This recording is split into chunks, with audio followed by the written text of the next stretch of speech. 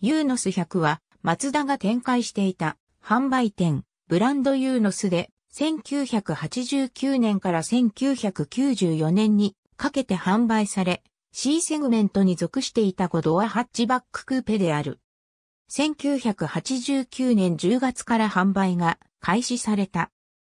ユーノス100は当時松田が推し進めていた販売店舗網の多チャンネル化に伴い、すでに同年2月に販売されていたファミリアスティナをベースにバンパーモールのカラード化やホイールキャップといった主要パーツの一部衣装変更を施したバッジエンジニアリングモデルで同社が展開していた販売店、ブランドユーノスのエントリーモデルとして位置づけられていた。燃料タンク容量は50リットル、燃費は 9.8km、L-14.0km、L。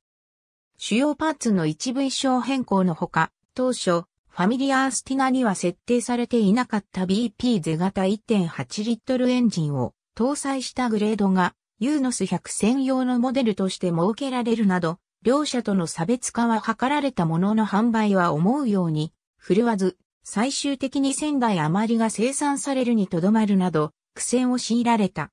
なお、ユーノス100の販売は、ファミリアのモデルチェンジを受け1994年をもって打ち切られている。ありがとうございます。